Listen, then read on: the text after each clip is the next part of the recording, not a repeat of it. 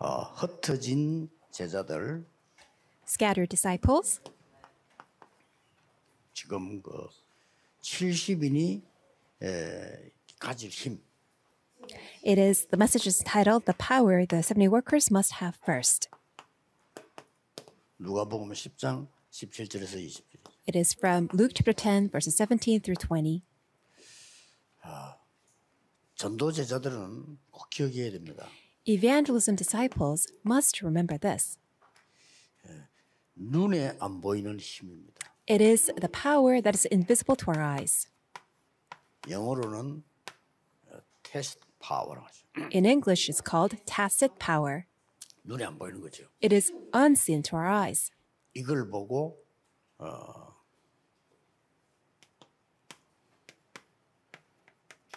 영적인 힘이라고 합니다. We call this the spiritual power. 영적인 힘이 생기면 예, 세계 살리는 눈이 열려요. If you have the spiritual power, you will have your eyes open to 그걸 보고 save the world. 기력이라고 합니다. We call it the intellectual power. 저절로 따라옵니다. 영적인 힘 가지고 이 지를 가지면 If you have the spiritual power as well as the intellectual power, 체력도 따라옵니다. physical power will follow. 자, 이 세 개가 되어지면 경제력이 따라와요. If you have these three, then financial power will also follow. 돈을 보고 쫓아가는 게 아니고 이 경제력이 따라오는 것이다. It's not that you're pursuing after money, all the finances will follow after 그러면 you. 1천만 제자 살릴 인력이 따라오는 겁니다. Then you will also have the manpower by which you will raise up 10 million 그래서 disciples. 기도하면서 저는 이꼭 이게 붙이는 단어가 있습니다. And as I pray for this, there's a word that I attach to the spiritual power. 이 하나님 나에게 이 영적 힘 달라고 기도합니다. God grant to me your spiritual strength. 그래서 이제 에, 나는 보통 이렇게 호흡하면서요. 이렇게 들이쉴 때 영적인 힘. As I inhale, as I breathe, I pray for the spiritual strength, spiritual power. 그리고 이 영적인 힘은 내 속에 임하도록 이렇게 늘 기도합니다. I always pray so that the spiritual power will be upon within me. 기력은 다른 게 아니고 나는 그렇게 하나님이 내게 메시지를 달라고 해요. And as I pray for intellectual power, I pray to God to grant to me his message. 이게 또 이제 거의 기도 호흡을 통해서 이렇게 합니다. I do this through breathing and prayer. 체력은 어, 뭐내 혼자 웃기는 기도인데 So regarding 불신자 앞에 내가 간증할 수 있을 정도로요. regarding physical power is uh, quite uh, funny. I actually pray to the extent that I can actually testify to unbelievers. 그때 나와서 기도와 오직 그리스도. That's when I pray. Only prayer. It is only Christ. 어, 그때 와서 내가 기도하는 방법을 간증하려고. 요 That's when I will testify my method of prayer. 여러분 다 어, 그래 되길 바랍니다. I pray that may all of you be able to 예를 do the same. 들어서 우리 앞에 이 목사님들이 한 100살까지 전도로 다닌다. 이래 보세요. Let's say that all the pastors here that they can go evangelizing for uh, until they are 100 years old. 찾아올 겁니다. Then all these 아, you know 그거 press 100살까지 전도로 생애 다니냐 물어볼 겁니다. will come to interview you asking, "How can you still be so healthy and 꽉 evangelize?" 얘기하세요. That's when you will 오직 tell 그리스도. only Christ. 안정돼요. 그래 증거 있잖아요. 오직 그리스도. Really, it will be a testimony. You will be able to testify only Christ.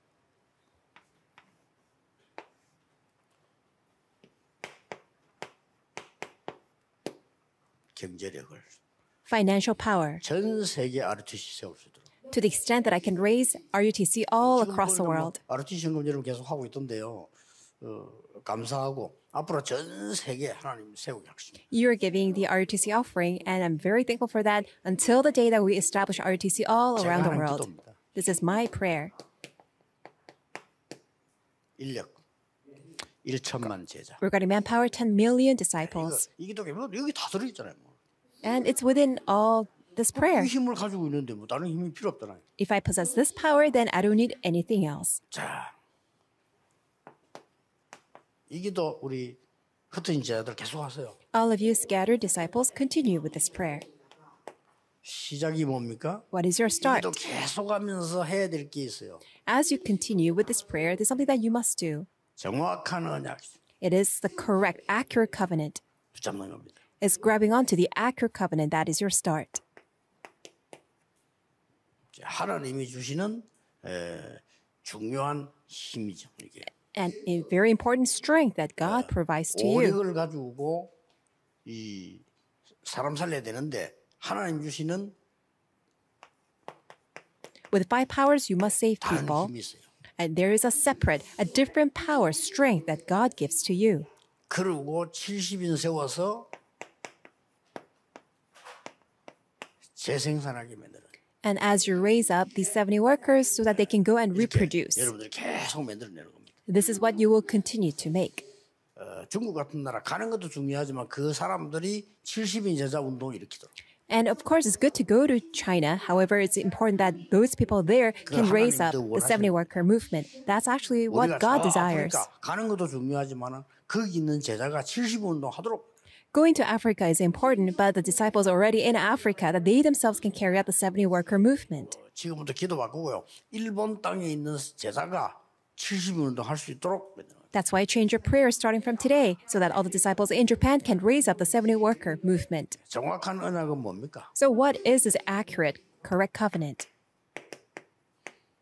다 이루었다. It is finished. 다 John 이루었단 19:30. 말이죠. What does it mean that it is all finished? 시작이다 이 말이에요. It means that now 바이블 it's a 성경의 start. 시작입니다. Now it's a start because everything is already finished. 아니 다 이루는데 왜 나는 어렵습니까? 시작입니다. Even though it is all finished, why is it so hard for me? That is your start. 꼭 기억해야 됩니다. This is what you must remember. 그리고 정확한 언약 붙잡아야 돼요. And also, you must hold to this accurate covenant. 마지막 강단. It is the last, final pulpit. 에, 그리스도 하나님의 나라 오직 성령. It is only Christ, God's kingdom, and the Holy Spirit.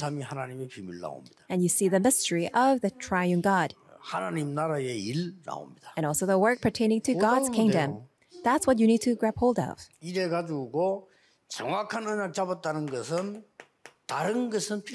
What does it mean that you're grabbing onto the accurate covenant? It means that you don't need anything else.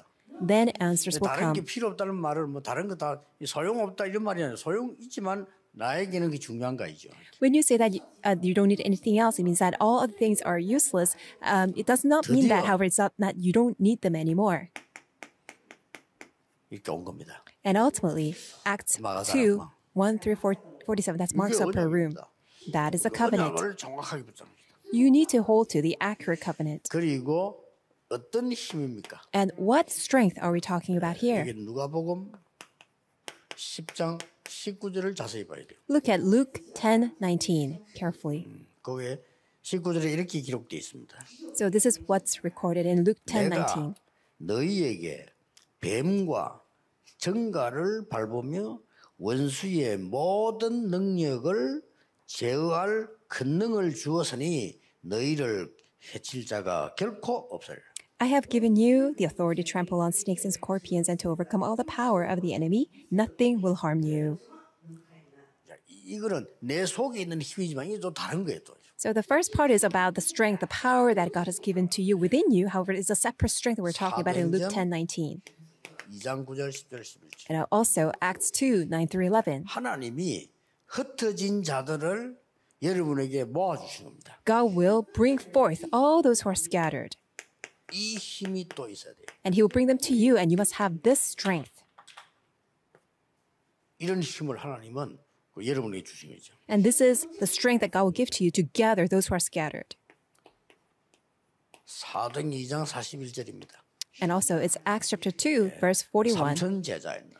3,000 disciples arose. 아마 여러분들이 70인 제자를 저- 제대로 시작하면 if you can properly raise up the 70 disciples, then 3,000 disciples are bound to rise.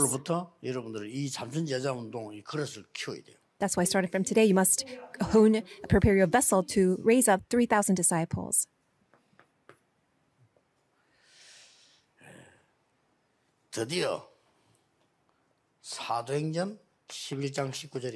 And ultimately, it is Acts 11:19. What is this? 위기 때 큰 전환점을 만들어내죠. At the time of crisis, they were able to make the greatest turning point at the time of crisis. 이제 드디어 13장 1절에 정확한 선교 시작됩니다. And Acts 13:1, the most accurate mission started, 뭐 엄청난 힘이 이제 하나님 주시겠죠. which means that God had no choice but to pour down his 더 tremendous strength. 중요한 거는 이제 재생산입니다. What's more important is this reproduction. 사도행 13장 12절에 여기에 총독이 굉장히 은혜 받았죠. And in Acts 13:12, you see that the proconsul was greatly blessed. 드디어 사도행전 14장 14절 2절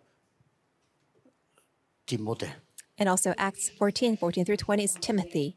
이런 인물이 나오는 겁니다. Such individuals will arise. 사도행전 16장 내용 쭉 보니까 다 아시죠 지금 And you know 특히 보세요.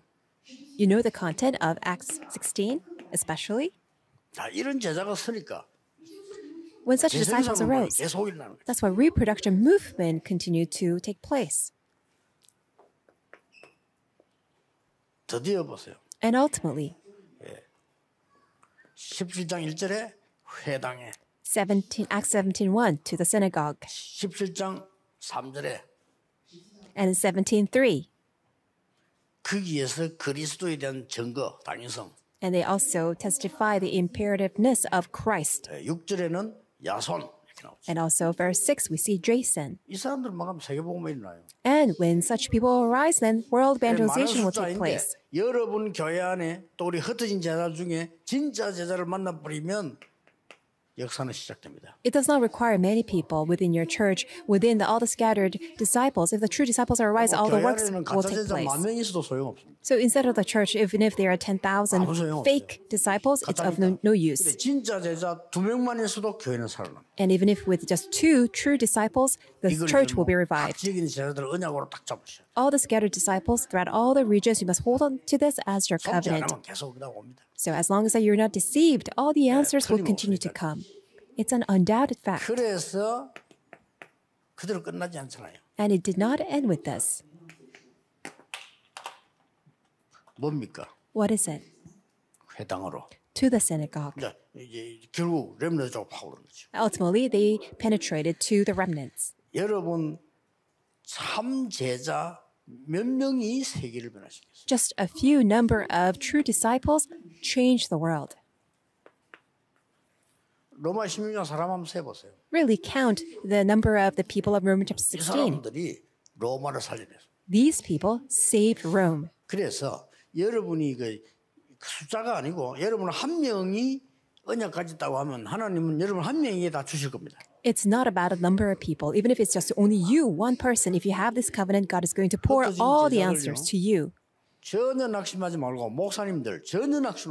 That's why all of you scattered disciples do not be discouraged. All of you pastors do not fall into despair.